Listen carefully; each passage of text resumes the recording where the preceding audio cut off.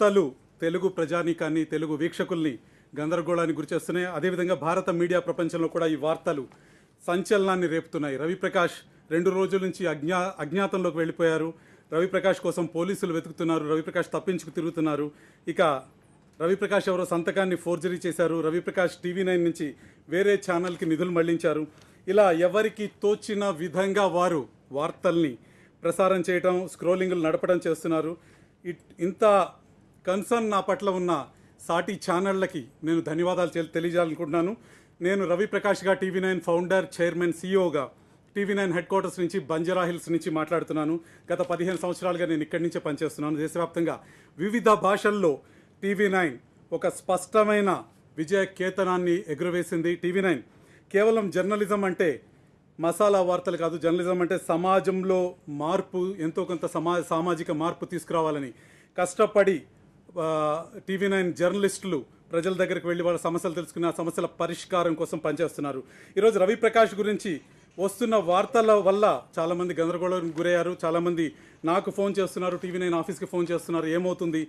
ఏం జరుగుతుంది అని చెప్పి ఏమీ ఆందోళన పడాల్సిన విషయం లేదన్న సందేశాన్ని ఇవ్వడానికే నేను ఈరోజు లైవ్ టెలికాస్ట్లో మీ ముందుకు వచ్చాను. ఛానళ్ళు కాస్త బాధ్యతాయుతంగా వ్యవహరించి వాస్తవాలకు సంబంధించిన వార్తలు ఇస్తే బాగుంటుంది. ఫలానా వ్యక్తి పారిపోయారు ఫలానా వ్యక్తిని ఉరిదీశారు ఫలానా వ్యక్తిని జైల్లో పెట్టారు.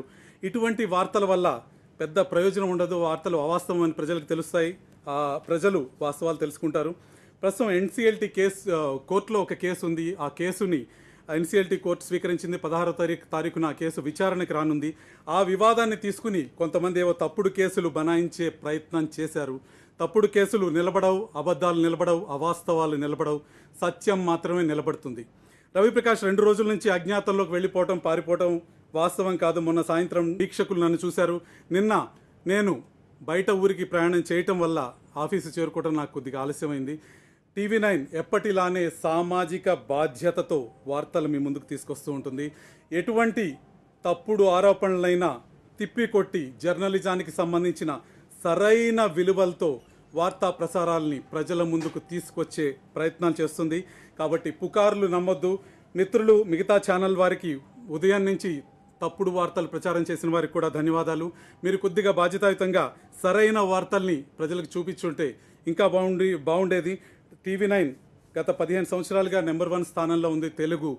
వీక్షకుల మనసులు గెలుచుకుంటుంది. మీరు కూడా ఎక్కడో క్రెడిబిలిటీ అనే అంశం గురించి పనిచేసి ఉంటే ఎవరో ఒత్తిడి ఎవరో ఇచ్చిన ధనాన్ని ఉపయోగించి మీరు వార్తల తయారీకి దాన్ని వాడకుండా ఉండుంటే మీ క్రెడిబిలిటీ పెరుగుండేది పారదర్శకత ఉండుండేది మీ పట్ల కూడా ప్రజాభిమానం ఆ, పెరిగి ఉండేదని నేను అనుకుంటున్నాను. మీరు ఇచ్చిన తప్పుడు వార్తలకు ధన్యవాదాలు.